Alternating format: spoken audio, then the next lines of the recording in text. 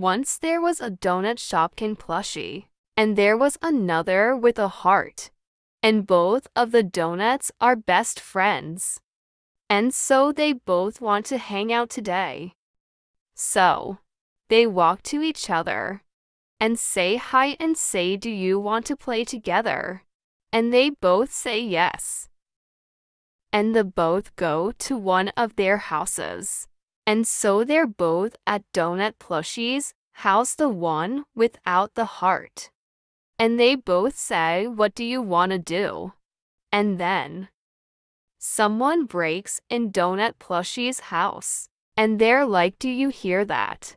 It sounds like someone's opening the door. End. And they both are like "H h h h h h h," And they're like running. But the very, very creepy person stops them and almost kills them. But fuzzy steering wheel cover killed a very, very creepy person. And they're like, yeah, I think why. They are like, thank you for goodness sake so much, so much. If you didn't come in time, we should have been dead tie.